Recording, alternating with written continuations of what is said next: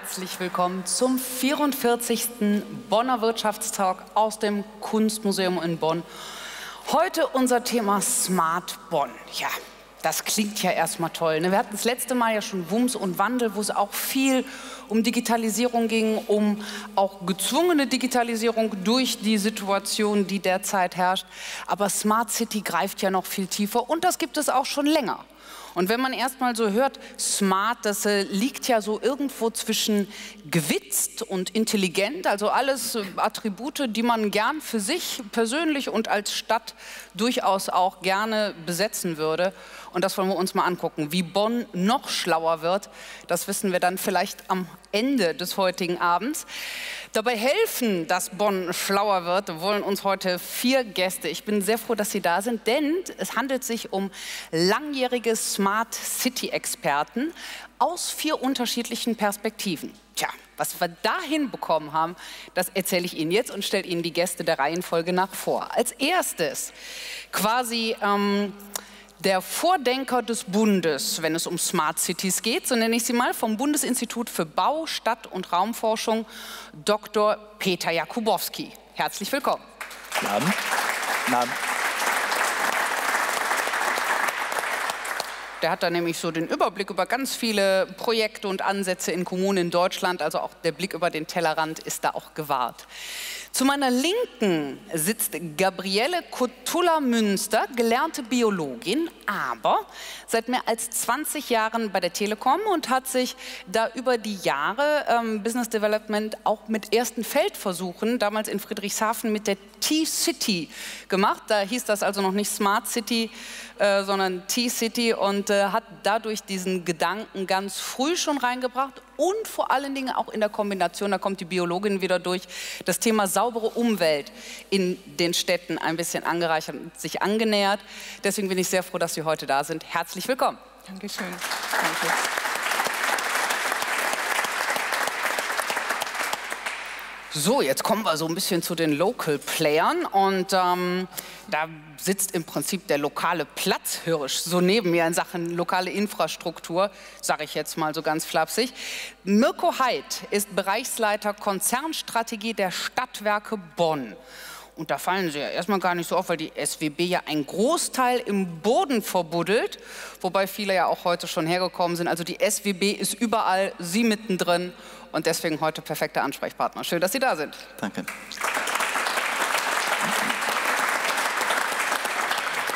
So, und last but not least zu meiner Linken der CDO, der Chief Digital Officer der Bundesstadt Bonn. Also man kann sagen, der oberste Digitalisierer der Stadt, einmal in Bezug auf Verwaltungsprozesse, aber eben auch als Player in der Stadt und Stadtgesellschaft. Herzlich willkommen, Friedrich Fuß. Dankeschön.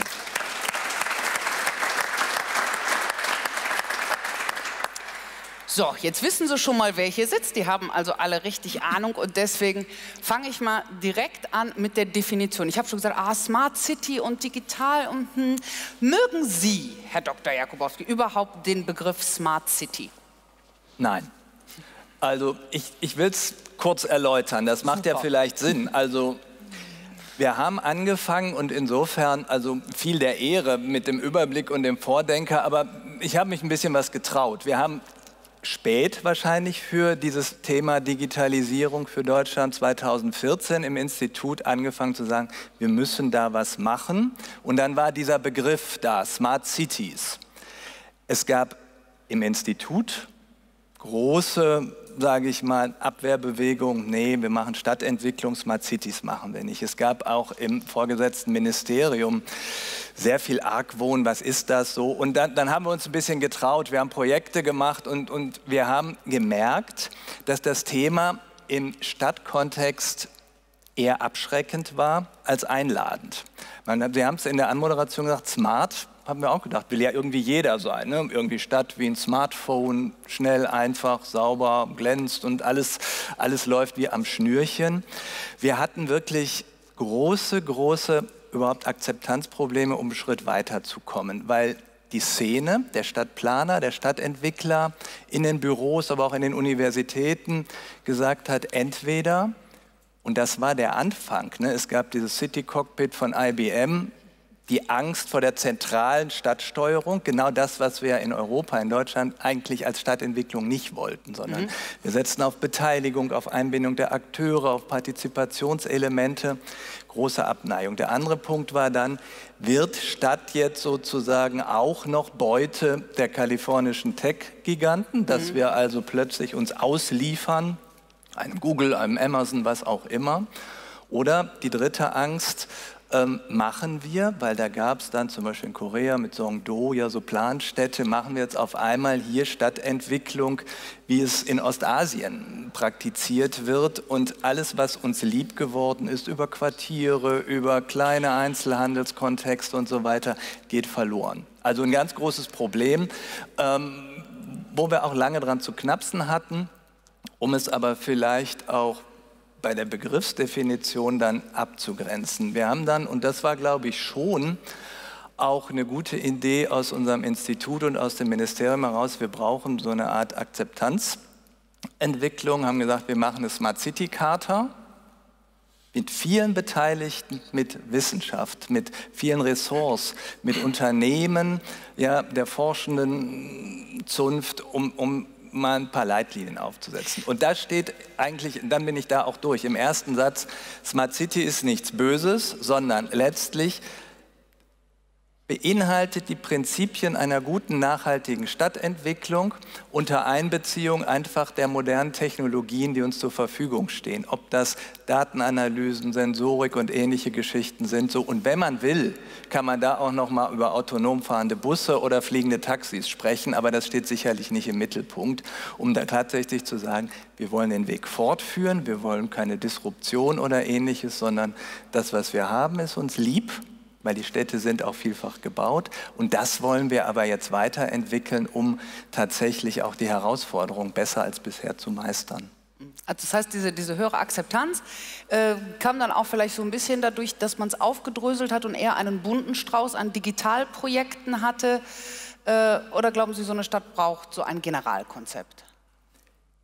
Das glaube ich schon dass ein Generalkonzept oder eine Strategie wichtig ist, weil wir natürlich auch in den Einzelprojekten das Puzzlespiel Stadt im Blick haben müssen. Also da bin ich schon von überzeugt. Wir sollten es nicht wahllos versuchen, weil dann haben wir auch keine Chancen im Erfolg, das ein oder andere mal auszurollen. Also eine Art Vision, wo ich unter Einbindung von Technologien, Datenanalysen, was immer wir da auch vielleicht heute Abend noch besprechen wollen, wo ich hin will, wen ich mitnehmen möchte, wen ich mitnehmen muss, damit es funktioniert, sollte unseres Erachtens schon durchaus am Anfang stehen, dass man halt nicht irgendwo, sage ich mal, ähm, unterwegs schon, schon das Ziel aus den Augen verliert, aber immer schneller rennt, weil man sagt, ich muss digitalisieren. Also das ist, glaube ich, schon ein wichtiger Punkt, weil die Ressourcen auch erschöpflich sind hm. in einer Stadt dieses Gefühl, oh, da müssen wir was machen, da drehe ich mich mal direkt zum Herrn Fuß. Sie haben jetzt gerade das gehört,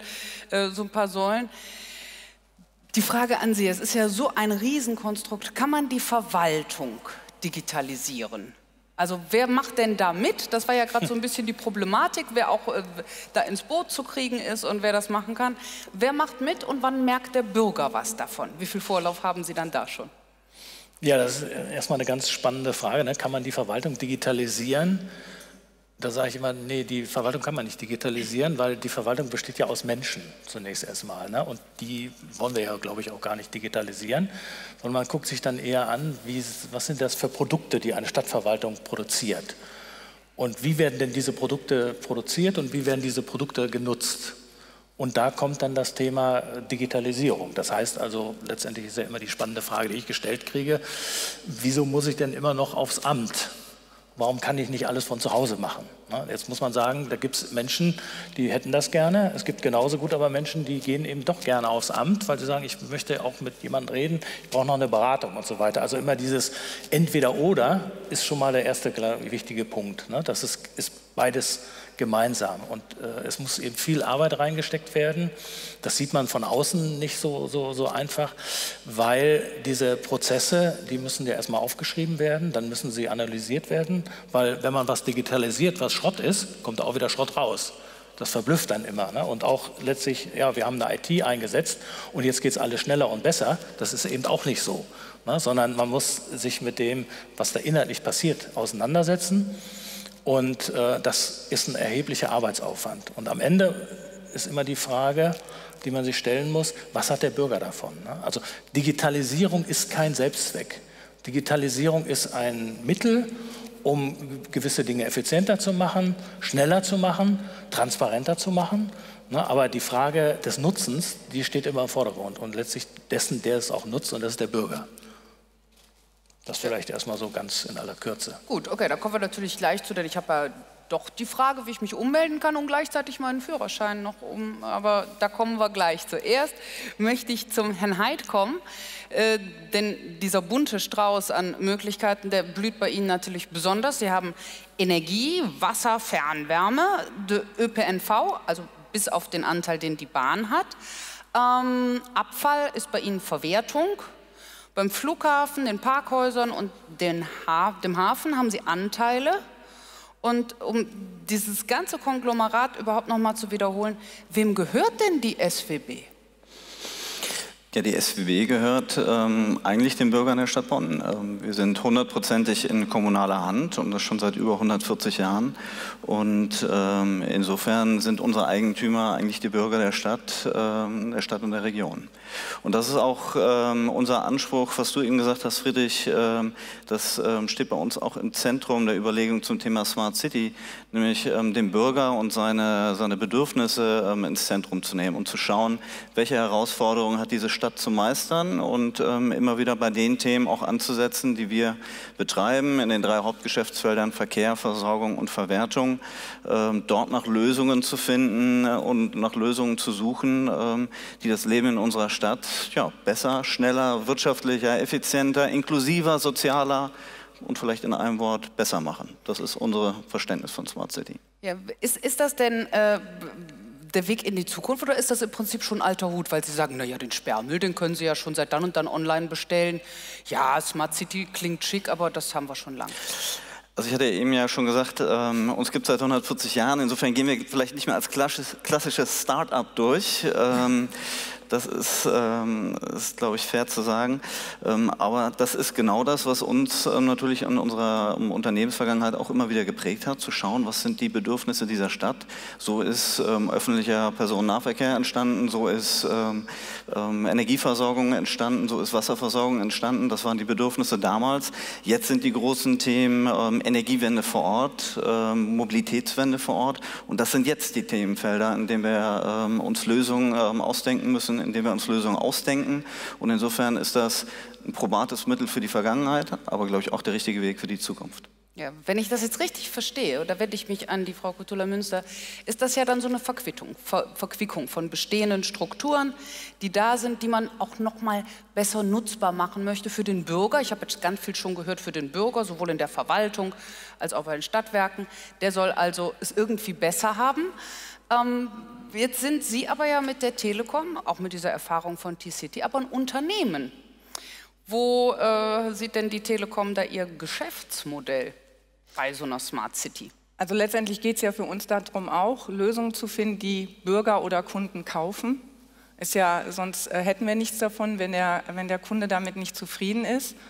Und ähm, einfach ein Beispiel ähm, aus, der, aus der Zeit äh, vor ja, über, über zehn Jahre ja her ähm, in Friedrichshafen ist, dass wir erlebt haben, und das wird heutzutage viel mehr gemacht, den, den Bürger von Anfang an einzubinden oder den Kunden. Also zwischen Unternehmen ist es normal, dass du eine Alpha, Beta, Gamma-Version von einem Produkt ausprobierst ähm, mit einem Endkunden funktioniert das nur bedingt. Der möchte natürlich schon ein Produkt haben, das äh, super funktioniert, wo jetzt nicht noch viele Fehler äh, drin sind. Der sucht vielleicht noch die Farbe aus oder die Handhabung oder so, aber der möchte ein Produkt, das funktioniert. Mhm. Das heißt, ähm, für die Telekom ist es letztendlich wichtig, dass der Kunde äh, mit dem Produkt zufrieden ist.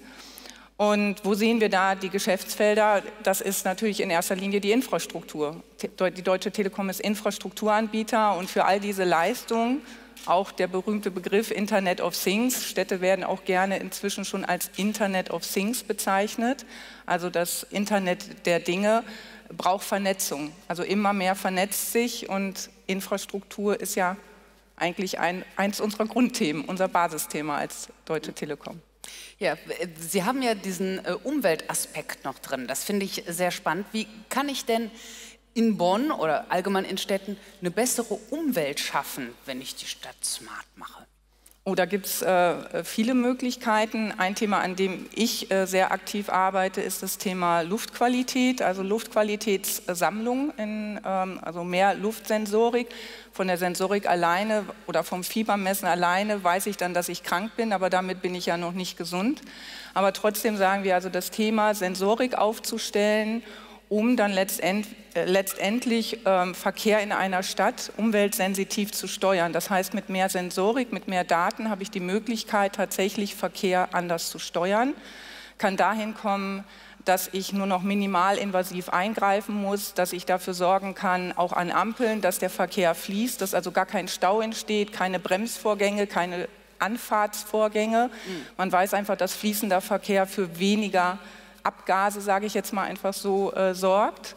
Und ähm, wir haben in Deutschland das Glück, dass der Feinstaub nicht so wie in Asien so sichtbar ist. Aber Feinstaub äh, wird tatsächlich als Problem unterschätzt, als Beispiel. Ein anderes Thema ist, dass ich sowohl digital als auch analog natürlich helfen kann. Ich kann zum Beispiel die Fahrten von, ähm, von ähm, der Müllabfuhr äh, digital organisieren, dass die also immer ausgenutzt werden und die Müllabfuhr nur dann losfährt, wenn auch wirklich der Mülleimer voll ist. Da gibt es auch schon viele Konzepte. Parallel kann ich aber natürlich einfach auch Fahrertrainings geben, damit Menschen möglichst Kraftfahr Kraftfahrt, ähm, kraftfahrstoffschonend fahren und CO2 einsparen. Also gibt es viele Möglichkeiten in der Richtung, Sachen zu verbessern. Okay, also da, da, blüht schon mal so, so ein weites Feld an Möglichkeiten auf. Da gehen wir gleich noch so ein bisschen weiter rein. Sie hatten jetzt gerade auch schon wieder, eh, genau wie der Herr Fuß eben, diese Diskrepanz di digital äh, und analog. Ist dieses digitale Plus oder soll das anstatt sein? Weil, weil bis jetzt ist es ja so, bei all diesen Möglichkeiten, alles, was mein Leben in dieser Smart City dann leichter, besser, gesünder, schöner macht, brauche ich ja einen Computer oder ein Smartphone oder sonst irgendein Endgerät. Grundsätzlich ist das ja auch meist kein Problem. Im Umland sieht es schon anders aus, aber hier in den Städten sind wir gut versorgt. Das funktioniert also dann auch mit dem Netz. Aber diese digitalen Angebote, kommen die on top? Oder glauben Sie, dass die die analogen Vorgänge so mit der Zeit verdrängen wird? Also frage ich jetzt den Herrn Fuß wieder. Also es wird die Zeit zeigen, was so passiert. Ne? Also so ein ganz anderes Beispiel, was man erkennen kann. Mittlerweile sind die Umsätze für die Schallplatten, also die äh, sozusagen diese analogen Schallplatte, wieder größer als die Umsätze für CDs. Was ja eigentlich erstmal verblüffend ist. Ne? Also von daher hatte man irgendwann mal gesagt, das eine ist wahrscheinlich tot und wird es nicht mehr geben. Und das soll einfach nur beispielhaft aufzeigen, dass ähm, die Entwicklung äh, natürlich schwierig zu prognostizieren ist. Ich glaube, da wird es immer so ein Auf und Ab geben und äh, manche Dinge werden auch verschwinden. Äh, dafür wird es wieder neue. Äh, ne? Also das, das, passiert eben nicht quasi über Nacht, äh, auch wenn man das vielleicht so fühlt äh, über Nacht. Und jetzt muss man ja sehen, das hängt ja auch von dem an, der es nutzt. Und da sind wir ja wieder beim, bei den Menschen in der Stadt, äh, die diese Dinge nutzen können müssen. Damit die aber das nutzen können, braucht es halt Infrastrukturen. Ne? Wenn ich sage, ich möchte gerne fließendes Wasser haben, dann brauche ich halt eine Wasserinfrastruktur oder eine Leitungsinfrastruktur, sonst geht das nicht. Wenn ich entsprechende Daten habe, äh, ich kann ja viel messen und dergleichen mehr, dann stelle ich mir immer die Frage, okay, was mache ich denn jetzt mit diesen Daten? Ne? Und jetzt sagt sich das natürlich dann leicht her, ich möchte gerne den Verkehr irgendwie ähm, sensorgesteuert optimieren. So, dann muss ich natürlich eine ganze Menge Aufwand treiben, weil ich brauche beispielsweise irgendwie äh, Schilder, die äh, dann äh, wechseln ne, und sagen, jetzt kannst du nur 30 fahren und jetzt ist die Straße gesperrt und jetzt musst du anders fahren und, und, und wie auch immer. Also das heißt, ich brauche eine ganze Menge an Infrastruktur, um das überhaupt realisieren zu können. Und dann brauche ich auch eine ganze Menge Daten, weil ich will ja eigentlich äh, dann auch Dinge machen, die nicht nur in der Vergangenheit liegen, sondern in, der, in die Zukunft gerichtet sind. Ne? Und sagen, okay, was für eine Wetterlage wird jetzt kommen? Äh, was, was passiert dann an der Stelle? Das ist immer so mein Lieblingsszenario. Ne? Dann sage ich, okay, das Wetter wird jetzt dazu führen, dass, dass hier sozusagen die Luftqualität sich verschlechtert. Also, äh, wenn du jetzt umsteigst auf öffentliche Verkehrsmittel, dann kannst du das entsprechend äh, zum halben Preis oder sogar kostenlos, wenn du dann dein Auto da und dahin stellst. Ne? Und jetzt muss man sich gucken, wie funktionieren solche Geschäftsmodelle. Das erzählt sich ja eben so gut. Ne? An der Stelle, ich muss dann eben auch wieder sehen und sagen, ich brauche eine, Inf eine Investition in die Infrastrukturen, in die verschiedenen. Das muss ich wollen.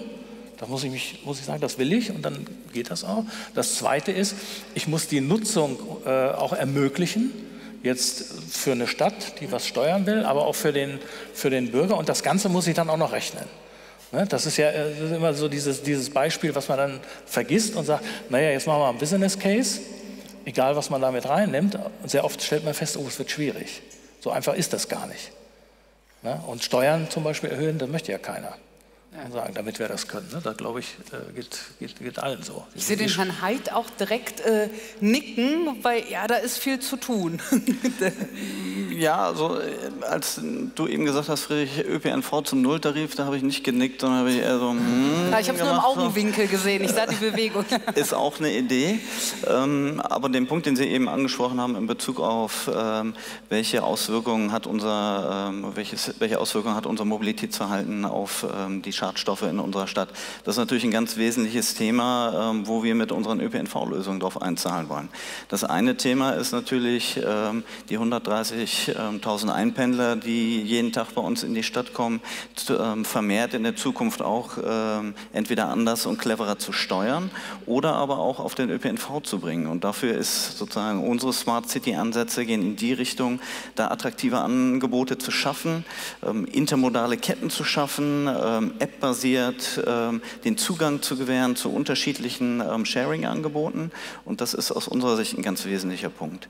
Neben dem Punkt Elektromobilität, wo wir, glaube ich, auch mit Produkten ähm, und Leistungen darauf einzahlen, um sozusagen, wenn dann mit dem Auto kommend, dann auch wirklich auf Elektromobilität umstellen und dann idealerweise natürlich auch mit dem Bonn Naturstrom unterwegs sein. Ne? Da haben wir zumindest das Schadstoffthema ein bisschen bedient. Hm.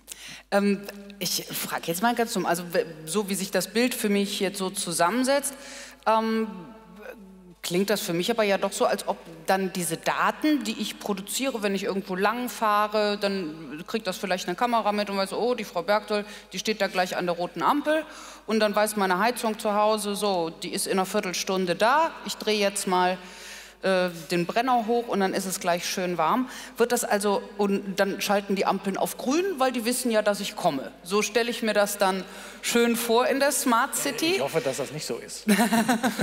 es ist nie so. Ich bin heute mit dem Auto hergekommen, das war keine gute Idee. Nein, nein, dass man sie da erkennt und weiß, dass sie da unterwegs sind, weil das ist ja etwas, was man bei den Daten gar nicht haben möchte. Genau, das ist nämlich äh, der Punkt, auf den ich hinaus möchte, ist dann, das hatten wir eben schon mal im Ansatz, dieser große Server, der das alles steuert und verwaltet, das ist also nicht das Ziel, also wir haben das nicht als Ziel, falls wir Gut. uns ähm, anschauen. Ich weiß nicht, äh, ob es da Förderprogramme in die Richtung geht, aber ich glaube, in Ihrer Einführung haben Sie dazu ja auch schon ein bisschen was gesagt. Also unser Ziel ist das natürlich nicht. Alle unsere Produkte und Leistungen unterliegen der Datenschutzgrundverordnung und die ähm, Themen, die andere Unternehmen ähm, und Geschäftsmodelle, die andere Unternehmen aufsetzen, die ähm, auf die Nutzung und Vermarktung von Daten basieren, das kann natürlich nicht unser Ansatz sein und ist auch nicht der Ansatz der Stadt. Ja. Der Dr. Jakubowski nickt auch, also ähm, Clusterung ist sinnvoll? Also Datenschutzgrundverordnung, all das, auch die Frage ne, Datensouveränität, alles Schlagworte, wo wir sagen, wir wollen uns als Bürgerinnen und Bürger nicht entmündigen, nicht entblößen und, und, und auch vieles andere nicht. Ich glaube, das, das ist mal eine grundsätzliche Geschichte, die ist im Moment Konsens, das sage ich auch mal, weil ich mir nicht so sicher bin, wenn ich mir das Alltagsverhalten generationenübergreifend anschaue, ob das in 20 Jahren auch noch so ist. Das ist mal ein Punkt. Also das, das lasse ich offen. Der, der zweite Punkt ist, dass das Datenthema, wenn ich, Bonn hat es ja auch, eine Open Data Plattform anstrebe, Natürlich macht man das heute und völlig zu Recht, datenschutzkonform und ich gebe nichts raus, was mit personenbezogenen Daten zu tun hat. Gleichwohl ist natürlich das gesamte Datenthema eines, was umso produktiver, dann sind wir bei Payoff-Perioden, die sich verkürzen, wo man auch, auch Side-Effekte hat, das umso produktiver wird, je größer die Datenmengen sind, mit denen ich sehr verantwortungsvoll umgehen muss. Sowas wie eine Predictive Analytics, wie Sie es ansprechen, kriege ich nicht mit einem kleinen Excel-Sheet hin, wo vielleicht 1000 Zeilen folgen. Das muss, das muss man mal ganz klar sagen. Das heißt, ich investiere dann in Anonymisierung, in Datenschutz, in ähnliche Geschichten, um, um Chancen zu nutzen. Und im Datenthema ist letztlich ja auch dieses Thema enthalten. Und das ist schwer für, sage ich mal jetzt, uns kommunale Akteure zu sagen, manchmal weiß ich heute noch nicht, was ich an Ertrag aus so einer Datenanalyse in vier, fünf Jahren habe, weil ich nämlich genau dieses Matchen, dieses Analysieren tatsächlich so weit treibe, dass dann was rauskommt. Also ich, ich sage Ihnen mal ein kurzes Beispiel, Bitte. was ich persönlich, vielleicht verstehen Sie es oder können es mir erklären, aber es, es wird so gemacht. In New York gibt, gab es ein riesengroßen Datenprojekt, um ein folgendes Problem auf die, auf die Schliche zu kommen. Und zwar haben die ja uralte Kanalisation, Kabelkanäle, mit der Elektroinfrastruktur ist das auch ein Problem. Und da passiert es vergleichsweise häufig im Jahr, dass über Schwelbrände der Druck so steigt, dass riesige Kanaldeckel in die Luft geschleudert werden ah, okay. mit Toten. Hm. Also nicht erfunden. So.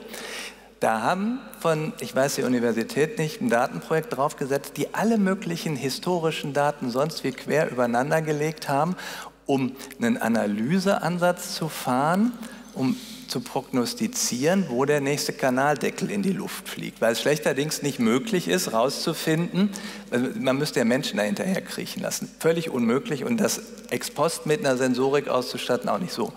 So, dann steht geschrieben, dass sie mit diesem Ansatz eine Chance haben, ist auch egal, und wenn es nur 40 Prozent dieser Explosionen sozusagen sind, vorherzusehen, jemanden vom Service hinzuschicken und das Leck zu schließen und damit Leben zu, zu schützen oder zu sichern. So, ähm, ich, ich gebe zu, wie das geht, weiß ich nicht, aber da so viel auch in, in, wissenschaftlichen Journals publiziert ist, glaube ich zumindest mal, dass vielleicht die Hälfte der Wahrheit dran ist. Also aber aus riesigen Datensätzen zu analysieren und zu Lösungen zu kommen, für die wir uns heute, äh, glaube ich, also vielleicht begeistern können, wenn wir es lesen. Aber da kommen wir, wie wir hier sitzen, glaube ich, nicht drauf. Denn wir haben von der Uni Mathe-Genies, die uns das gleich im Nachgang erklären können. Also das Datenthema ist ein komplexes und sollte eben nicht, das sage ich offen aus meiner Sicht, nicht nur eben unter diesen Themen ähm, schonend sammeln, in Silos sammeln, auch ein wichtiges Thema. Dann, man kann die Datenmengen auch schon schön erhöhen, wenn man einfach mal die Trennscheiben innerhalb einer Stadtverwaltung mhm. zumindest auf Zeit runterfährt und dann sagt, da können Sie auch noch mal reingucken, um viel mehr zu lernen, was Stadt ausmacht. Und dann ein Schlagwort, da sind Sie, glaube ich, ja auch mit Interesse unterwegs. Vielleicht gibt es dann bei Zeiten einen digitalen Zwilling, auf einem Server, den Sie oder Sie beide sozusagen nach allen Datenschutzgrundverordnungen betreiben, auswerten können, um dann quasi richtig loszulegen. Dann geht es über Partizipation, über Steuerung. Das kriegt man aber nicht bis 2023 hin. Also das ist halt das andere Thema das in dieser Geschichte. Aber ich glaube, ja. das ist ja der wichtige Punkt und Sie haben das sehr gut beschrieben. Man muss einfach auch damit anfangen. Ne, weil ja letztendlich äh, das Thema ist, ich brauche Erfahrung, ich muss Erfahrung sammeln. Ne? Das ist ja, wir reden dann immer von künstlicher Intelligenz, die so etwas macht. Wenn man sich dann genau anschaut, was das ist, dann lernen Maschinen, ne? das ist Machine Learning und Deep Learning und so weiter, gibt es dann Dinge, wo also äh, die unterschiedlichsten Daten äh, genommen werden und man versucht Muster zu erkennen am Ende des Tages. Das ist eigentlich relativ simpel kann man, ne, das hat nichts mit Intelligenz zu tun, aber wird natürlich immer so, so bezeichnet. Und deswegen ist das A und O natürlich die Daten und die Datenmenge auf der einen Seite, aber auf der anderen Seite Seite brauche ich jetzt die Menschen dafür, die eben genau mit so etwas umgehen können. Ne? Ja. Und Sie sprachen die Silos an und dann nützt ja dann nichts, wenn ich als Stadtplanungsreferat irgendwie meine Erkenntnisse habe und sage, und die sind jetzt da und das Umweltamt hat Erkenntnisse und das nächste und die Stadtwerke haben noch Erkenntnisse und sagen so, wir müssen aber diese ganzen Dinge irgendwie miteinander verschneiden, kombinieren. Wir müssen gemeinsam darüber reden und sagen, welche Schlussfolgerungen ziehen wir daraus und wie geht das Ganze dann auch in Aktionen über. Ja, und äh, dazu gehört natürlich letztlich auch das Erklären, äh, was man da tut. Das muss ja auch der Stadtbevölkerung erklärt werden oder der Stadtgesellschaft erklärt werden. Das wird man auch nicht alleine schaffen. Das heißt, ich brauche ja die Unterstützung von Start-ups, von Universitäten, von Hochschulen. Ne? Das heißt, dieses ganze Arbeiten in diesem Umfeld ist ein völlig anderes als, ich sage mal, das, das althergebrachte Verwaltungshandeln. Mhm. Sie nicken auch so. Ja, ich äh, wollte das unterstützen, Friedrich, was du gesagt hast. Äh, es muss ja gar nicht so ein ganz komplexes Thema sein, das Sie beschrieben haben. Es gibt noch viel einfachere Beispiele.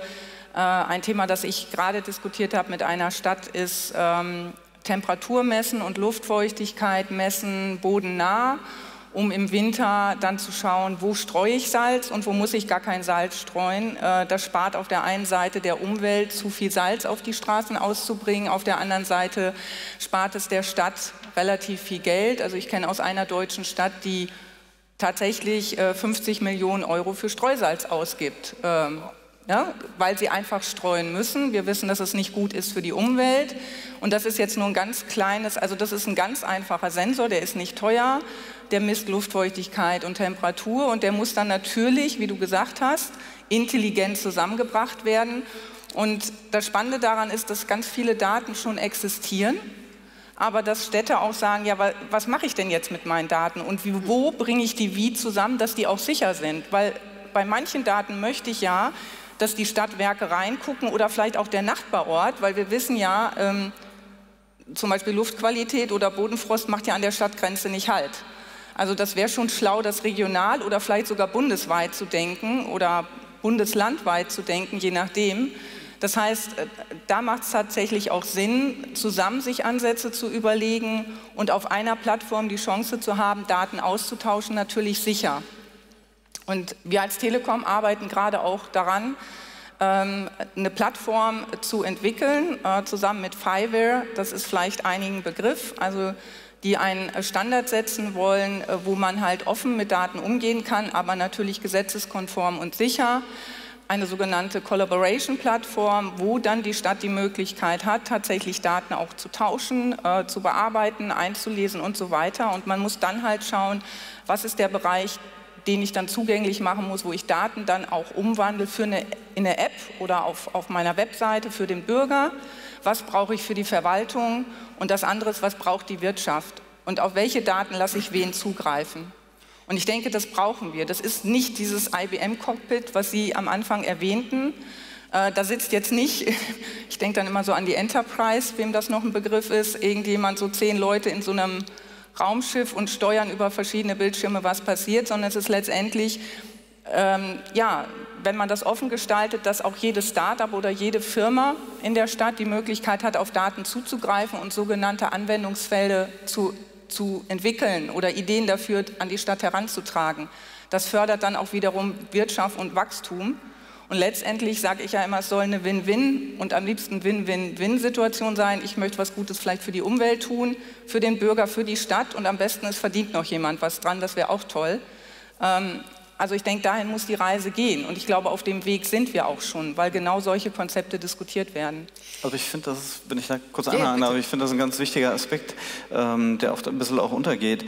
Ähm, die, die guten Ideen und die guten Lösungen, die müssen nicht immer nur von dem einen Unternehmen kommen. Und auch den Anspruch haben wir bei den Stadtwerken nicht, äh, dass bei uns immer nur sozusagen der Impuls gesetzt wird, sondern bei Smart City-Lösungen muss man ganz genau auch zuhören, was möchte der Kunde, wo hat er seine Pain Points, wo hat er seine Probleme, wie kann man lösen lösen?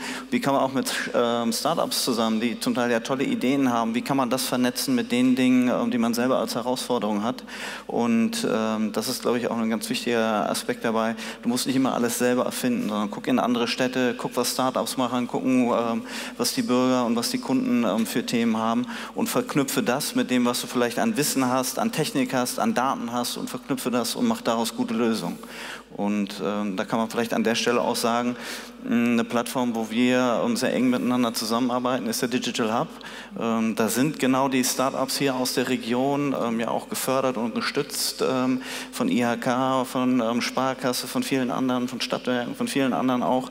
Ähm, das ist genau so eine Plattform, wo man junge Leute trifft, die mit einem ganz anderen Ansatz auf Themen drauf gucken als man selber, weil man aus einem gewissen Kontext kommt, aber dann im Austausch miteinander, da entstehen dann tolle Ideen und gute Ideen ne? und auch in beide Richtungen. Ähm, ich glaube, das ist auch immer wieder befruchtend für die Startups zu, mer zu merken, okay, wo komme ich mit meiner Idee in der realen Welt und in einem wirklichen Business Case, wie weit komme ich damit? Also das ist ein ganz wichtiger Austausch und der hilft bei ähm, Smart City Lösungen auch nach vorne zu kommen. Ja, und, und ich sage mal, das, das Wichtige ist in dem Zusammenhang, dass das ganze Thema, was damit zu tun hat, auch mal Dinge auszuprobieren ne, und an auch mal scheitern und sagen, das hat eben nicht funktioniert. Ne? Und das ist ja die Erwartung an eine Verwaltung ist, das ist perfekt oder es, wenn wir etwas machen, dann wird das perfekt. Perfekt ist nie. Ne, so an der, an der Stelle. Und, und gerade in diesem digitalen Umfeld muss man viele Dinge einfach ausprobieren. Man hat Annahmen, die treffen dann in der Wirklichkeit nicht so zu. Ne, und dann hat man auch mal äh, Geld in Sand gesetzt letztendlich. Man hat natürlich Erkenntnisse gewonnen, wie es eben nicht geht oder was man anders machen muss. Aber diese Dinge ausprobieren, zu versuchen, Transparenz zu schaffen, zu erklären, das und das haben wir als Annahmen getroffen, so und so haben wir äh, äh gedacht, funktioniert das, stellen dann fest, nee, es funktioniert eben nicht. Aus den und den Gründen müssen wir wieder anders ansetzen. Dieses sozusagen ganz natürliche Erforschen, neugierig sein, zu entwickeln, das ist ja nicht DNA einer Stadtverwaltung. Ne? Äh, DNA einer Stadtverwaltung ist ganz anders. Mhm. Das muss perfekt sein. Ne, und muss für jeden gleich und keiner wird benachteiligt etc. etc. Und das ist natürlich eine ganz andere Denkwelt, die wir natürlich trotzdem aber brauchen, weil wir sonst letztendlich nicht vorankommen. Das ist einfach so. Also unter uns, ne, für jemanden aus der Verwaltung klingt das ja jetzt total nach Hippie. Ne? Da klingt ja so ein bisschen mit, ja, wir brauchen auch die anderen Ideen und die sollen mit reinkommen. Ich habe hier auf meiner Karte stehen, Partizipation. Wie verändert sich der Gesichtsausdruck eines Verwaltungsangestellten, wenn er das Wort Bürgerbeteiligung hört? Jetzt sehe ich Sie hier lachen und davon erzählen. Jetzt machen Sie mir mein Konzept kaputt. Entschuldigung. Ich habe gedacht, das wäre dann so eine Meckerecke, vor der Sie Angst haben. Was ist denn da passiert? Ja, also mit mir ist irgendwie gar nichts passiert. Äh, ich hatte eigentlich noch nie Angst äh, äh, davor. Ich bin ja auch noch nicht so lange bei der Stadt. Na, ne, von daher. Oh, oh, oh. Jetzt aber nicht übermütig werden hier. Ne, an, an, der Stelle. Aber ich glaube auch nicht, dass ich davon, dass der überhaupt mal Angst haben werde, weil ich, denke, dass. Ähm, natürlich so eine Stadt auch von Vielfalt lebt und vielfältig ist. Und es gibt viele, viele Interessen, äh, die auch äh, letztendlich eine Begründung haben und, und auch sehr sinnvoll sind. Die interessante Geschichte ist, wie kann ich äh, in so etwas, äh, zu so etwas äh, kommen, dass dann auch Lösungen entstehen. Und zwar auch Lösungen, die durchaus äh, mehrheitsfähig sind, ne? die nicht alle mitnehmen, aber die auch mehrheitsfähig sind. Wie, wie kriege ich eigentlich Konsens hin? Oder wenn ich das nicht schaffe, wie geht ein Konsent? Und äh, da hilft uns natürlich auch das Digitale. Ich mache mal schnell eine Umfrage und dann kann man natürlich immer sagen, ja, aber das nutzen ja nur die und die. Ne? Wobei ich sagen muss, das ist keine Altersfrage. Ne? Ich sage Ihnen jetzt nicht, wie alt ich bin, aber äh, am Ende ne, ist das einfach ein Thema, ob man da Lust drauf hat, ob man das gezeigt kriegt äh, und wenn das einfacher ist, das kann man nutzen. Und am Ende kommt es ja darauf an, dass wir in einer Stadt leben, in der wir gerne leben die Spaß macht, ne, wo man sich auch einbringen kann, viel oder auch wenig. Ne, und man das Gefühl hat, oh, du kannst hier mitgestalten, du wirst auch ernst genommen. Ja, es gibt ja. auch Untersuchungen, dass, dass äh, ein Bewohner einer Stadt die Stadt schöner hält, auch mit so Kleinigkeiten, ja. Papierchen aufheben, genau. wenn da eins liegt im Vorbeigehen, wenn er sich wohlfühlt und für voll genommen fühlt ja. und das Gefühl hat, ich kann mitgestalten. Also von daher ist das ja Richtig. eine wertvolle Ressource der Bürger als solcher. Auf jeden Fall. Darf ich kurz von hier mal? Bitte. Also dass keine Angst haben, das haben, haben wir damals auch also gesagt, wir brauchen so CDOs und so, also irgendwie einer, das haben wir schon ins Stellenprofil auch geschrieben. Ich glaube, da, das ist der eine Punkt. Allerdings stehen sie, glaube ich, nicht für die gesamte Palette der Verwaltung. Das kann ich auch für unser Haus sagen. Da gibt es auch ganz unterschiedliche Konstellationen. Und zu dem Thema Partizipation, also oder noch mal einen kleinen Schritt davor. Verwaltung soll, und das muss man auch sagen, erstmal verwalten. Das muss man mal ganz klar sagen. Ne?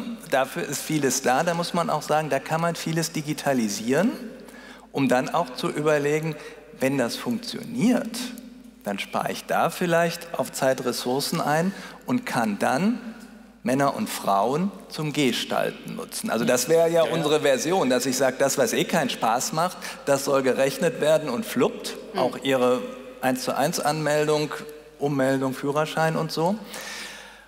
Das ist, glaube ich, ein wichtiger Punkt, der, der dann auch nochmal eine, eine Grenze zu Stadtentwicklungsthemen ist, finde ich. Verwaltung ist erstmal, das sind auch keine bösen Menschen, weil die verwalten, weil das Finanzamt muss das nach Recht und Ordnung machen und das ist auch schon, muss man sagen, sehr smart, wenn Sie sehen, wie da mit Algorithmen auch nach Inkonsistenten gesucht wird.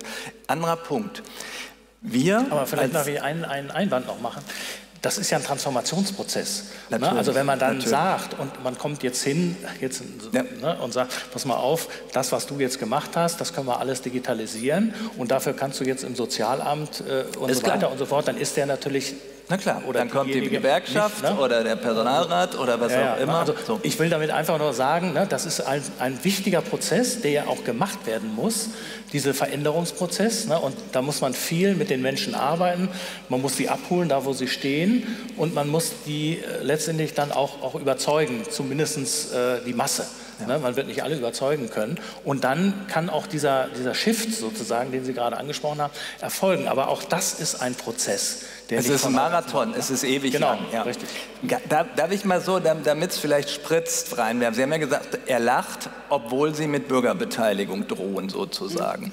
Also ja, die, die Stadtentwickler, Stadtplaner lieben ja Partizipation. Das nur mal, ne, wir sind jetzt nicht im ganz kleinen Kreis, um das aus meiner Sicht oder aus unserer Sicht einmal vorweg zu sagen. Da habe ich auch extrem viel also Lust drauf und, und das ist wichtig. Und jetzt kommt mein Aber, was ich mal in die Runde werfen möchte. Natürlich kann ich über BauGW-Beteiligung, über informelle Prozesse Teile der Bevölkerung erreichen, teilweise schwer genug bei konfliktträchtigen Projekten. Jetzt muss man sich mal überlegen und dann brauchen Sie dann eine konzeptionelle Lösung. Wenn ich nur 40 Prozent der Bonner beteiligt bekomme bei einem großen Stadtentwicklungsprojekt, also ich bin nicht Bonner, ich, ich pendel hier immer ein, mit der Bahn, nicht mit einem dreckigen Diesel oder so, aber sehr so, löblich. Also Bonner Loch, sage ich mal, soll ja schon ein paar Tage hier diskutiert worden sein. Wenn Sie das mit 30 Prozent der Stadtbevölkerung, weil es irgendwie so zentral ist, dass jeder eine Meinung hat, so dann, dann frage ich, ist das dann tatsächlich die Art von E-Partizipation oder sonst was, die wir wollen? Wie kanalisieren wir das? Also natürlich haben wir auch ein paar Ideen, wie man das machen kann, aber es kann auch sein, wenn alle immer plötzlich ne, über Twitter sonst was sagen, also dann, dann wird es auch im Stadtplanungsamt schwer und dann wird es auch der Oberbürgermeister oder die Oberbürgermeisterin irgendwie schwer haben zu sagen, super, da haben wir jetzt einen tollen Partizipationsprozess hingekriegt. Also, es sei denn, Sie kriegen, das ist ja unser Punkt immer, Sie brauchen Qualität des Prozesses. Nicht mhm. nur Masse, sondern es muss gelenkt, geleitet, nicht im Sinne von Vorwegnahme von Entscheidungen, aber die, die, die Interessen müssen kanalisiert und dann hinterher zusammengebracht werden. Aber das ist schwieriger als zu twittern. Ja, ja, oder Twitter-Nachrichten auszuwerten. Ne? Ja, also im Prinzip nicht zu viele Köche und gute Köche. Und das richtige Tool. Ich, genau, und das richtige Tool. Das, das ist dann das, also es, es Ich würde das mit den nicht zu viel nicht unterschreiben. Nee, ich will keinen ausgrenzen, aber ich sage, das kann plötzlich, wenn alle interessiert sind und immer die Möglichkeit haben am Tablet oder am Smartphone, dann gibt es eine neue Herausforderung, nämlich das in, in qualitativ gute und ich glaube, wir wollen ja auch Entscheidungen. Das, das scheint mir auch wichtig ja, zu aber sein. Aber ne? ich meine, das ist ja genau das, äh, woran wir auch arbeiten müssen. Ne? Letztlich genau dieses Phänomen. Und, und, manchmal erscheint es mir so, äh, ne, dass äh, so, äh, das hat ja lange Vorläufe, so Stadtplanung. Das muss ich Ihnen ja gar nicht erklären, das müssen Sie mir eher erklären ne, an der Stelle. Aber dann, ich habe immer so das persönliche Gefühl, in dem Moment, wo die Bagger anrollen, ne, dann geht das Thema los. Und das, glaube ich, ist eben auch eine Frage, wie man so eine kontinuierliche Kommunikation hin bekommt, und das kann man eben auch schaffen, glaube ich zumindest, dass dann jeder sagt, ja alles klar, ne, jetzt passiert das und das und so weiter. Es überrascht einen nicht mehr. Ne? Also sehr oft hat man das Gefühl, ne, diese, diese Dinge überraschen dann ne, die, eine breite äh, Mehrheit oder eine breite Menge von, von Menschen. Und da muss man auch ansetzen. Ne? Das heißt also, Sie haben ja gesagt, man muss an Konzepten arbeiten, darüber nachdenken. Genau das, das wird auch ge gemacht, das machen wir auch. Und das, man muss möglichst viele auch mitnehmen, weil das ja wiederum wichtig ist. Äh, wie fühlt sich das an? Ne? Wer möchte schon äh, immer im Prinzip Entscheidungen sehen, wo eine, eher eine Minderheit sagt, ja, das ist okay. Ne? Das möchte man eben auch nicht. Genau. Also das ist schon sehr diffizil, aber ein sehr spannender Prozess. Und diese Mühe muss man sich einfach machen. Das, das verdienen letztlich die Menschen in dieser Stadt, dass man sich diese Mühe macht. Ist das das, was die Telekom unter äh, Co-Creation versteht oder meinen Sie damit was ganz anderes? Äh, nee, Co-Creation, also Co-Creation ist unter anderem auch, dass man im, ähm, ja, in der Digitalstrategieentwicklung oder in der Strategieentwicklung für eine Stadt auch Partizipation auf jeden Fall mit einbaut, ja. Aber ich wollte eigentlich gerade noch mal auf das zurückkommen, was Sie gesagt haben, Herr Jakubowski. Ähm, dass man ja, ähm, also ich bin bei dir, Friedrich, dass man das durchgehend den Bürgern ermöglichen soll, natürlich ihre Meinung zu sagen, aber es gibt ja wirklich relativ einfach überschaubare Tools, das machen wir auch nicht selber, das ist über Partner, äh, mit denen man, also wir machen keine Digitalstrategie mehr ohne Partizipation, also mhm. das ist auch, weil unser Kunde das dann will. Das fängt dann in der Behörde oder in der Stadt selber an, dass man sagt, man möchte die Mitarbeiter in der Behörde erstmal zu den Themen abholen und später möchte man die Bürger noch abholen, dass die auch Möglichkeiten haben, in die Digitalisierungsstrategien Ideen einzubringen. Ähm, jetzt gerade in einer Stadt ein Prozess, wo irgendwie 40 Ideen rausgekommen sind, dann ist auch klar, dass nicht jede Idee wahrscheinlich umgesetzt werden kann und auch nicht jede Idee mit der Telekom umgesetzt wird, ist auch gar nicht unser Anspruch. Dann können wir auch äh, andere Firmen vermitteln oder haben Partner, die das machen. Das sind dann nicht immer unbedingt wir. Aber es ist genau der Punkt, dass man dann über eine begrenzte Zeit mit einem entsprechenden Tool den, den Bürgern die Möglichkeit gibt. Genauso wie wenn große Diskussion um Schwimmbäder in Bonn, äh, das ja auch äh, noch analog abgefragt wurde mit Stimmzetteln. Also die Möglichkeit gibt es ja auch. Also warum soll man nicht beides nutzen? Weil meine Großmutter würde jetzt auch nicht im Internet voten, ob sie das Schwimmbad noch will oder nicht. Also da erreichst du ja auch Und nicht wir wissen nicht, ob die noch schwimmen geht. Ja, ähm, also von daher sage ich, ich glaube, wir sind auch in einer Zeit, wo wir einfach noch beides anbieten müssen. Ich fände es auch suboptimal, wenn durchgehend irgendwelche Twitter-Nachrichten Nachrichten oder SMS irgendwo in der Stadt auflaufen und die ausgelesen werden müssen. Ich glaube, dann muss man solche Bürgerbeteiligung auch zeitlich begrenzen. Es gibt ja trotzdem noch andere Tools, ich sage jetzt mal wie ein Mängelmelder oder andere Kanäle, wo auch der Bürger sich melden kann, wenn er Interesse hat. Mhm. Also die Möglichkeit. Aber nur noch mal, ich, ich, ich wirklich, kein, ich, es geht mir gar nicht darum, Beteiligung runterzufahren oder auszuschließen, aber durch die größeren Anzahlen, die wir potenziell erreichen, brauchen wir möglicherweise auch andere Feedback-Schleifen. Also ich meine, Be Beteiligung einer großen Gruppe, wo sich 80 Prozent nicht berücksichtigt fühlen oder einfach unzufrieden sind, die werden sie nie wieder kriegen, das meine ich. Das, mhm. Dann haben sie es vielleicht einmal gemacht und da muss man tatsächlich schauen, vielleicht Entscheidungsmechanismen mhm. oder Auswahlmechanismen ja. mit einbeziehen. Ne? Entschuldigung. Aber Wie sieht das bei Ihnen aus, Herr Heid? Sie wollten auch ja, ich wollte noch mal auf einen ganz anderen Aspekt ähm, kommen, weil wir jetzt ja so stark in Richtung E-Government unterwegs sind. Und wir haben ja vorhin auch mal die, die Palette aufgemacht, ähm, wie vielfältig ähm, das Thema Smart City ist. Und ähm, da musste ich feststellen, in Bezug auf ähm, Response der Kunden, wie reagieren die ähm, auf Themen, da bekommt man natürlich bei den smarten Anwendungen, gerade wenn man mit Applikationen auch arbeitet, bekommt man ja sehr schnelles Feedback, was funktioniert, was funktioniert nicht. Mhm was muss man verändern. Ähm, ich denke, das ist nochmal ein ziemlicher Unterschied zwischen dem, was man in der Verwaltung auch anbieten muss und auch parallel anbieten muss, analog und digital, ähm, hin zu den Produkten, neuen Produkten und Leistungen, die man anbietet, wo man sehr schnell vom Kunden und Sie ja auch bei der Telekom sehr schnell vom Kunden Feedback bekommen, was funktioniert, was funktioniert nicht, was müsst ihr verändern, damit das gekauft wird. Ne? Und das ist vielleicht nochmal ein ganz anderer Aspekt, auch wo Smart City es bei euch vielleicht sehr komplex macht, aber auf anderen Produkten und Leistungen es vielleicht auch viel einfacher macht, ähm, schnellere Rückmeldungen auch zu bekommen und darauf dann als Unternehmen auch schneller reagieren zu können. Mhm. Da gibt es ja beides. Ne? Also ich sage mal, äh, bei der Stadt äh, ist das ja genauso. Ich hatte ja am Anfang gesagt, wir haben ja äh, jede Menge Produkte. Ne? Es gibt insgesamt 5000 Dienstleistungen und Produkte, äh, ne, die eine Stadt dann produziert oder im Auftrag des Bundes und so weiter, Führerschein, Bundessache, nur als Beispiel jetzt.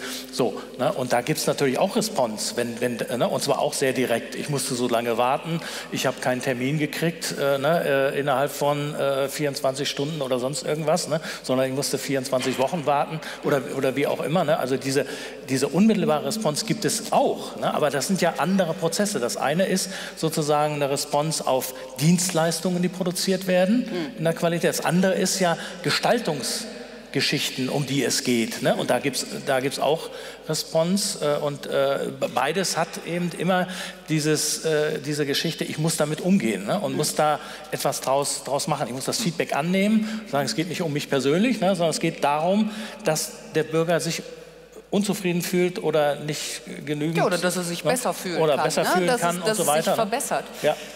Ähm, da würde ich gerne reingehen, weil wir haben jetzt schon so viel gehört, so Möglichkeiten. Ich habe gehört von Luftsensoren, wo man auch die Verkehrsführung ein bisschen mit deichseln kann.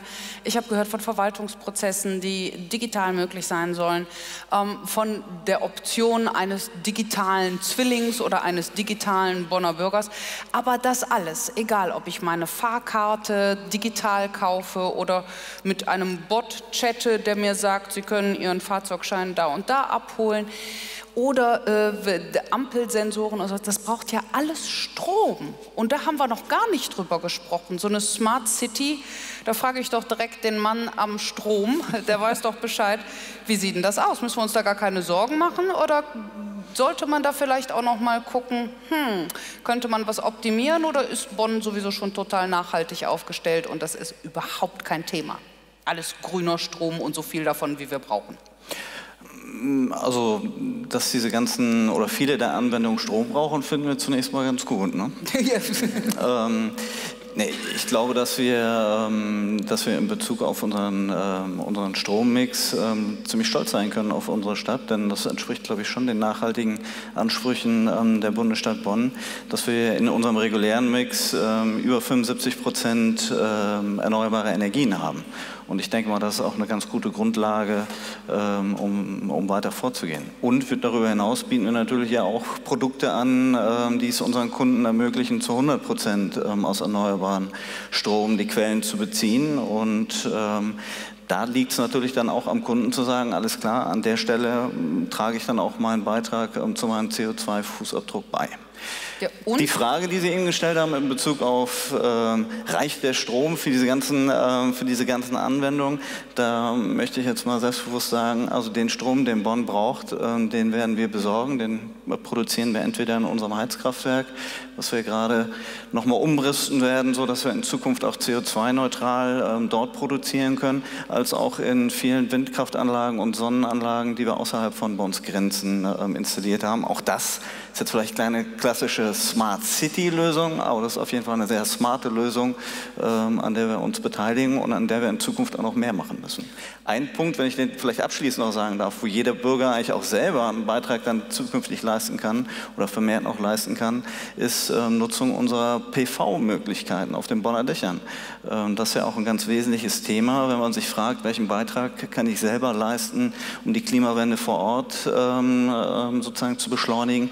Auch das ist ein Thema, wo wir Produkte anbieten, gemeinsam mit dem Handwerk aus Bonn und der Region, dass jeder sozusagen selber auch zum kleinen Stromproducer werden kann.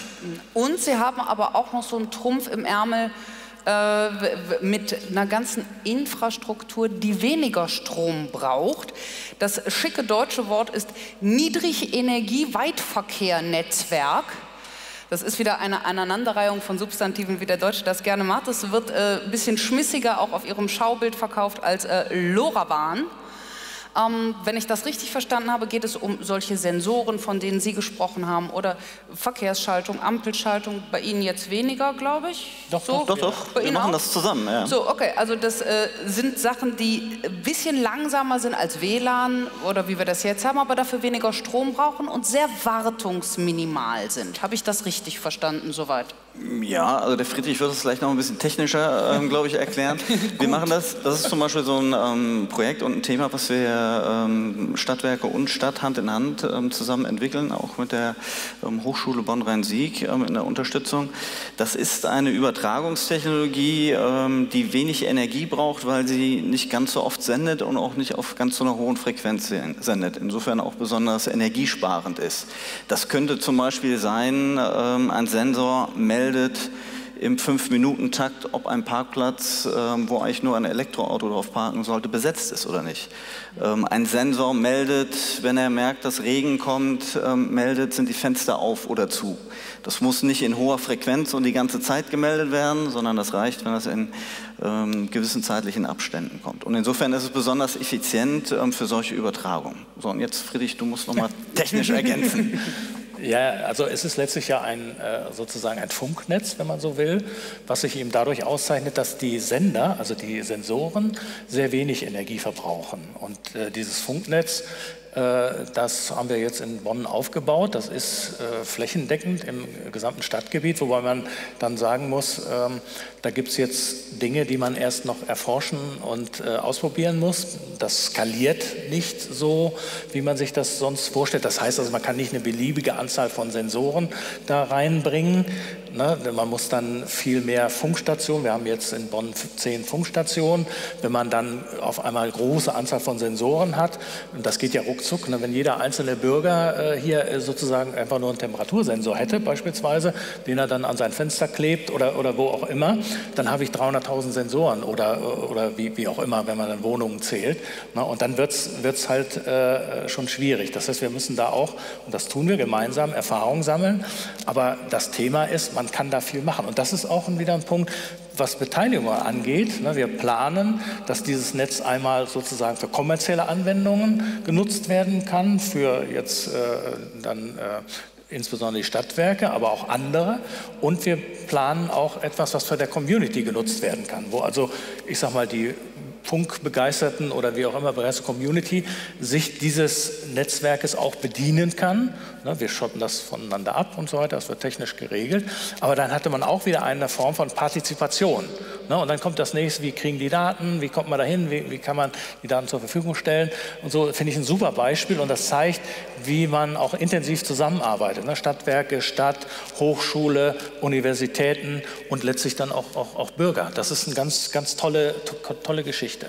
Darf ich noch eine Bitte ins Spiel bringen? Neben dem CO2, was der Stromverbrauch möglicherweise in die Luft bringt, ich glaube, jeder Erfolg von Herrn Fuß oder in Kooperation mit Ihnen steigert bei Ihnen die Anforderung in, sage ich mal, Versorgungssicherheit, sowohl was Nachschub als auch, sage ich mal, Ausfall, nicht Sicherheit, sondern das Gegenteil angeht, weil wir, wir begeben uns natürlich in eine Abhängigkeit. Und die Systeme, die wir entwickeln, und wenn wir dann mal bei der Verwaltung die Papierakten los sind, also die, im Moment sprechen wir über Corona. Ähm, ein Blackout über längere Zeit kann uns ganz schön große Probleme bereiten und je mehr wir auf solche Systeme setzen, ähm, desto sage ich mal, nachhaltiger wird die Abhängigkeit. Wir können es dann oftmals nicht einfach wieder, wieder zusammensortieren. Das heißt, auch wenn das wiederum kostentreibend ist, bei allen Experimenten sollten wir möglichst früh die Leute von Datenversorgungssicherheit und sonst was oder auch einer, einer Doppelstruktur immer dabei haben, dass man, natürlich sind die kleinen Lösungen pfiffig und schnell mal zu machen, aber da, wo es ins Grundsätzliche geht, ähm, da gibt es schon, glaube ich, auch ernstzunehmende Probleme, was Stromversorgung angeht, wenn die ausfällt, aber natürlich auch einfach die IT-Sicherheit. Also ein Notsignal würde ich auch nicht über LoRaWAN laufen lassen. Nein, Also wenn das ich halt eine 24 Stunden Sicherheit brauche, Ist völlig würde ich, richtig, sondern würde ich das geht- nicht einem LoRaWAN-Netz anvertrauen. Das ist richtig, aber es geht natürlich um die Gesamtsysteme. Also ne, Uniklinik Düsseldorf, wer es mitbekommen hat, versehentlich, ne, wahrscheinlich aus Russland, die wollten die Universität angreifen, führt dazu, dass eine Universitätsklinik, eine der größeren im Lande, glaube ich, fast zweieinhalb Wochen keine Notfallpatienten aufnehmen kann, weil sie top digitalisiert sind. Also ist ja auch immer die man kriegt das Risiko nicht auf Null, aber ich finde, das sollte zunehmend neben der Experimentierbegeisterung halt auch dieses langweilige Sicherheitsthema Ich glaube, das ne? ist ein ganz wichtiger Punkt, den Sie da ansprechen. Und der hat ja auch wieder etwas damit zu tun mit Investitionen, die ich in die Sicherheit äh, äh, machen muss. Ne? Und das kostet eben auch Geld. Das Geld ist gut angelegt, sage ich immer. Ne? Wir brauchen nur einmal überlegen, ne, wenn die, Stadtwehr, äh, die, die Stadtverwaltung eine Woche oder zwei Wochen äh, nicht arbeitsfähig wäre, ne, weil irgendwas passiert ist, was das denn heißt und was das dann am Ende kostet. Ne? Das zeigen ja immer die Szenarien. Natürlich, ne, wenn man dann mit, dem, mit der Kämmerin spricht oder mit dem Controller oder mit wem auch immer, dann kommen natürlich äh, noch ganz andere Überlegungen. Aber Sie haben völlig recht. Ne? Wir können es uns nicht leisten, auf Sicherheit zu verzichten. Das geht nicht. Und es muss auch so sein, dass es noch bedienbar ba- bleibt. Ne? Das ist der andere, der, der andere Punkt, weil sonst passiert ja Folgendes, die Menschen umgehen das. Das heißt, ich muss Sicherheit so gestalten, dass sie einfach im Handling ist. Chipkarte dranhalten, ne? muss ich mir keine Passwörter mehr merken und so weiter. Es gibt tolle, smarte Lösungen an, an der Stelle, aber die kosten Geld, aber das ist gut investiertes Geld. Aber ich glaube auch, da, da ist die Telekom ja ganz weit vorne, was Sicherheit betrifft. Also Cyber Defense Center spricht ja für sich. Wir arbeiten ja sehr, sehr eng mit dem BSI zusammen oder auch mit dem Bundeskriminalamt. Also das ist auch bei der Telekom auch für eigene Produkte. Wenn die bei uns nicht äh, den Security-Zykel durchlaufen haben, dann dürfen die nicht an den Kunden verkauft werden. Also da wird bei uns äh, aus der Geschichte heraus sehr extremst darauf geachtet, dass solche Maßnahmen oder solche, solche Vorgaben eingehalten werden und natürlich auch das Thema Datenschutz für äh, pe- personalisierte Daten sowieso. Ähm, also von daher ein ganz wichtiger Punkt und deswegen ja auch oft nochmal eine Zweitsicherung oder Rechenzentren in Deutschland oder mindestens in Europa und nicht in den USA als Beispiel. Auch ein ganz großes Thema, vor allen Dingen, wenn es um Daten der Verwaltung geht. Wir haben selber noch Daten. einige Beamte im, im Konzern. Also das heißt, wir wissen, Beamtendaten dürfen deutsche Grenzen nicht verlassen. Die werden definitiv in Deutschland verarbeitet.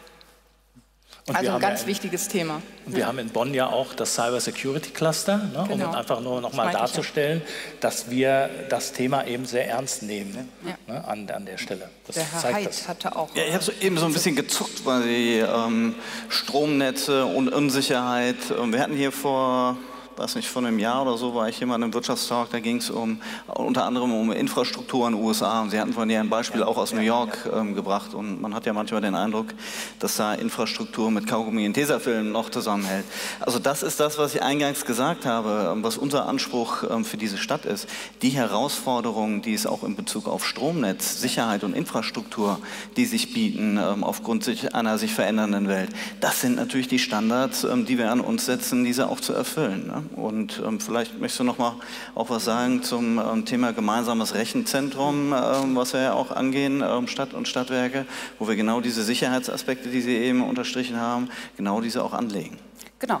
Und das ist jetzt ein wunderbares äh, Trapez für mich. So, da war jetzt schon so viel dabei mit äh, Sicherheit, mit Stromverbrauch, mit so vielen Sachen. Da würde ich jetzt gerne von jedem von Ihnen zum Abschluss eine Vision hören. Da soll Helmut Schmidt jetzt auch ruhig mal im Grabe rotieren. Ich äh, würde jetzt, äh, Sie, Sie machen schon, dann fange ich links an, dann haben Sie noch einen Moment zum Überlegen. Geben Sie mir zum Abschluss eine schöne Vision, wie sieht Smart Bonn, diese smarte Stadt, in zehn Jahren aus? Ähm, auf jeden Fall mehr Bürger, nach allem, was ich gelesen habe, auf jeden Fall 20.000 bis 30.000 mehr Bürger. Ähm, vielleicht noch grüner. Also äh, man wird sicherlich noch mehr für die, für die Umwelt tun, in dem Sinne noch mehr grüner. Ob das durch smarte Stadtmöbel ist oder durch Bäume, die man pflanzt, das kann sich ergänzen, das schließt sich nicht aus. Ähm, mehr öffentlicher Verkehr, weniger Individualverkehr, aber dann so gut organisiert, dass ich intermodal von A nach B komme, ohne Probleme zum Flughafen und ohne Probleme an die eigene Haustür. Das wäre schön. Ne? Das, wär das klingt toll. Machen wir mit dem Herrn Fuß weiter. Ja, also ich glaube, ne, dass wir in diesen zehn Jahren sehr viele kleine und einige größere Schritte einfach machen. Ne? Weil die, das Erlebnis äh, ist nicht irgendwie, wir haben riesig und auf einmal gibt es einen Knall, sondern das wird diese kontinuierliche Entwicklung sein. Und das, was ich mir wünsche und meine Vision ist, dass wir in diese kontinuierliche Entwicklung auch einsteigen. Und zwar richtig massiv einsteigen. Weil wir haben große Probleme in Bonn. Verkehr ist nur immer das, das, das Hyperbeispiel. Ne? Das wird sich nicht lösen mit, mit äh, sozusagen einem Federstrich, sondern dies wird sich lösen im Konsens mit vielen Beteiligten. Und äh, das glaube ich, das kriegen wir hin, wenn wir das wollen. Und das wäre meine Prognose für die zehn Jahre. Also meinen Sie, in zehn Jahren ist schon weniger Stau? Weniger Stau, ich habe diesen Verkehrs, das Verkehrsthema so gelöst, dass alle Verkehrsteilnehmer gleichberechtigt in einer Art und Weise agieren können. Ich habe es auch so gelöst, dass Unternehmen sich in Bonn wohlfühlen, weil die bringen ja am Ende auch die Einnahmen für die Stadt. An der Stelle darf man auch nicht vergessen, irgendwo an, an, an diesem Punkt. Das heißt also, dass das gesamte Miteinander viel effizienter und auch äh, so gestaltet wird, dass jeder sagt, hier möchte ich gerne leben weil ich hier auch gut arbeiten kann, weil ich hier gutes Geld verdienen kann und weil es mir Spaß macht und wir haben eine gute Qualität von Angeboten, egal ob es jetzt Nahverkehrsangebote sind, ob es Strom ist oder ob der Einzelhandel oder wie auch immer. Das, das schwebt mir vor. Ne? Und da, da muss man einfach sehr intensiv und sehr fleißig dran arbeiten. Wer da jeden intensiv Tag. und fleißig jeden Tag dran arbeitet, ist der Herr Heid. Herr Heid, wo ist Smart Bonn in zehn Jahren? Ihre Vision bitte. Ja, also wenn ich den Horizont ähm, auf 15 ähm, Jahre ausdehnen dürfte, was ich jetzt einfach oh. mal mache. Sie sprechen ja auch von Visionen, also muss ja ein bisschen weiter in die Ferne blicken. Also woran wir konkret arbeiten, ähm, wir haben Beschlüsse gefasst, ähm, dass sowohl die Stadt Bonn als auch die Stadtwerke Bonn ähm, in ihrer Leistungserbringung bis 2035 klimaneutral werden ähm, CO2-Neutralität ähm, herzustellen. Das wird große Anstrengungen bei uns ähm, bedürfen. Insofern, das ist nicht nur Vision, sondern das ist klarer Auftrag, an, dem wir, an dem wir jeden Tag arbeiten von hier aus. Und ich denke, das ist, glaube ich, auch sehr smart, das zu tun. Was ich mir in Bezug auf die Stadt sehr gut vorstellen kann, ist, dass von den 70 Prozent der Dächern, die wir hier in Bonn haben, dass wir perspektivisch mehr als die wenigen Bruchteile auch nutzen für PV-Anlagen. Ich kann mir sehr gut vorstellen, dass sich unser Mobilitätsverhalten ändert, vielleicht auch durch Corona merken wir auch, ähm, dass sich durchaus Mobilitätsverhalten, Arbeitsverhalten ähm, verändern wird. Das wird sich mit Sicherheit in den nächsten 15 Jahren auch verändern. Ähm, ich kann mir sehr gut vorstellen, dass wir mehr ÖPNV haben. Ich kann mir aber auch sehr gut vorstellen, ähm, dass es noch viel mehr Sharing-Angebote geben wird, ähm, dass wir wegkommen werden von dem Besitzen des Autos, sondern hinkommen zum Nutzen der Mobilität. Und das sind, glaube ich, Themen, die bei uns auch auf der Agenda stehen, diese weiterzuentwickeln. Und insofern, wenn ich die Augen mal zumachen dürfte, könnte ich mir gut vorstellen, dass es Mobilitätsangebote gibt, die wissen, wie ich meine Kette Kette, meine Mobilitätskette jeden Tag äh, bedienen muss, die mir gute Angebote machen, wo ich nicht nachrechnen muss, sondern wo ich weiß, dass ich einen guten Preis bekomme und wo ich weiß, dass ich emissionsfrei an meinem Ziel ankomme. Das ist am besten auch, wenn der Zielort außerhalb der Stadtgrenze liegt, dass das dann auch äh, gut funktioniert, die Region, Smart den, Region. Den Punkt haben wir eben nicht gebracht, der ist aber ganz wichtig, noch zum Abschluss ähm, zu sagen, Smart City-Lösungen, die enden nicht an der Stadtgrenze, ja. die gehen darüber hinaus.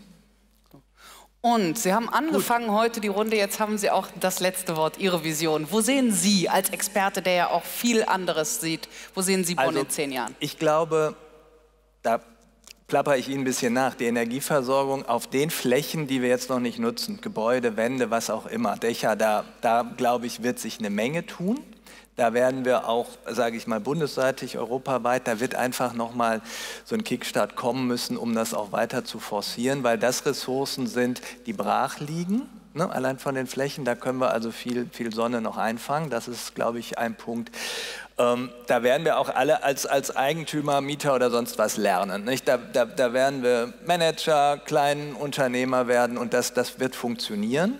Das wird auch schneller gehen. Teilweise haben wir jetzt Engpässe wegen der Handwerkskonstellation. So. Beim Verkehr, Ihr Wort in Gottes Ohr, da war ich zu lange Verkehrsforscher. Ich glaube nicht, dass in zehn Jahren hier weniger Stau ist als heute. Das ist, glaube ich, ein Thema, was, was man so einfach nicht wegkriegt. Ich würde es Ihnen und uns wünschen. Im Moment sehe ich einen Shift vom öffentlichen Verkehr zum Individualverkehr. Das ist auch das Auto, ob das dann elektrisch fährt oder nicht. Ähm, die ÖV-Systeme leiden natürlich unter diesem Jahr unter fiesen Einnahmenverlusten. Mhm. Der haben Wettbewerbsnachteil, weil sich, auch wenn wir wieder auf 70, 80 Prozent kommen, die, die anderen fehlen ihnen. Mal gucken, wann wir impfen, wann wir das wieder aufholen können. Also da, da bin ich, ja, ich würde es mir wünschen, aber da bin ich nicht so optimistisch. Was aber, und das, das kann ich wirklich auch als Nicht-Bonner, aber auch als Bundesvertreter sagen, wenn es Bonn nicht schafft, auf diesem Weg smart zu werden mit den Menschen, die jetzt hier sitzen. Also da, da mache ich den Platz frei, weil sie haben Stadtwerke. Das ist, das sage ich in größeren Runden ungern, aber derjenige, der seine Stadtwerke aus der Not oder aus sonst welchen Spaßveranstaltungen verkauft hat, der steht jetzt wirklich ungünstig da, weil sie sind ohne dass wir uns kennen. Also wir haben jetzt ja auch keine Seitenzahlung geleistet. Ja, ein zentraler Akteur in dieser Stadt, weil sie wissen, wie öffentliche Hand tickt. Sie wissen, wie Bürgerinnen und Bürger ticken, weil sie denen was Gutes verkaufen wollen. Die Schnittstelle kriegen sie auch so schnell nicht hin. So, aber sie haben Unternehmen wie die Telekom, alle. Sie machen, also wer, wer das nicht schafft, Wer also diesen Schulterschluss nicht hinbekommt, also dann, dann wäre das der größte Fehler. Sie müssen die Universitäten weiter einbinden, nicht nur die Sozialwissenschaftler, sondern auch nach Kräften noch die Techniker, wenn Sie Fachhochschule Rhein-Sieg oder so, dann werden kleine, große Lösungen und die entwickeln sich. Und dann wird Bonn noch viel smarter als heute, auch wenn wahrscheinlich ganz viele Bonner immer nur über Bonn jammern, aber das ist das Erste, was man macht, das machen wir bei uns zu Hause auch, aber das, das ist eine tolle Ausgangssituation und ich glaube, da, da wird jetzt so viel auch nicht schief gehen. Weil da, da gibt es viel schlimmere Schicksale findet man auch in NRW schon einiges. Also das muss man sagen, die ja. ganz anders aufgestellt sind. Und das, also insofern, auch wenn der Stau vielleicht bleibt, glaube ich persönlich, da, da muss man sich jetzt nicht viel Sorgen machen, aber nicht die Hände in den Schoß legen, das ist klar. Ja, aber das klingt doch schon mal super. Das klingt doch äh, so, als wäre der, Bonn, der, der Weg, den Bonn bis jetzt eingeschlagen hat, durch den unabhängigen Experten von außen schon mal schwer gelobt und hier noch äh, auch mit Vertrauen in die Zukunft besetzt. Also da kann ich mich nur anschließen und sagen, machen Sie was draus, weiter so. Das klingt doch schon mal ganz prima. Ich bin gespannt, wo Bonn in zehn Jahren ist, wie viel Partizipation es gibt, wie viel Erleichterung es gibt, wie mobil die Stadt ist, wie äh, die Cities aussehen, wie die Luft ist in Bonn, ob ich dann mit meinem Rad was ich gemietet habe, grüne Welle habe und mir die Strecke noch sagt, wo die Luft besonders gut ist, weil die paar, die immer noch nach draußen mit dem Auto fahren, noch mit ihrem alten Verbrenner sonst alles vollpusten. Also ich glaube, wenn das alles so hinhaut, dann haben wir die Daten gesichert, leben hier entspannt, gesund und komfortabel in Bonn. Das klingt prima. Ich glaube, ich ziehe rüber. Noch wohne ich ja in Köln. So, wir sehen uns dann in zehn Jahren. Vorher sehen wir uns aber hier nochmal. Ich möchte mich ganz, ganz, ganz herzlich bedanken, dass Sie Zeit hatten, dass Sie meine Gäste waren, dass Sie Rede und Antwort gestanden haben. Wie immer bei unseren Themen sind die so vielschichtig und es gibt so viel Hintergrundinfos. Lesen Sie sich ein. Ich fand es wahnsinnig spannend und wie immer leider viel zu wenig Zeit, um die Experten noch ein bisschen weiter zu befragen. Aber ein bisschen konnten wir es anreißen. Ich hoffe, wir haben Sie neugierig gemacht. Vielen Dank Ihnen auch äh, unter diesen Bedingungen herzukommen und äh, so ein geduldiges, nettes, gut gelauntes Publikum zu sein. Ich freue mich aufs nächste Mal. Und Ihnen zu Hause auch danke fürs Zuschauen. Bis bald beim 45. Bonner Wirtschaftstalk dann. Das war's für heute. Tschüss.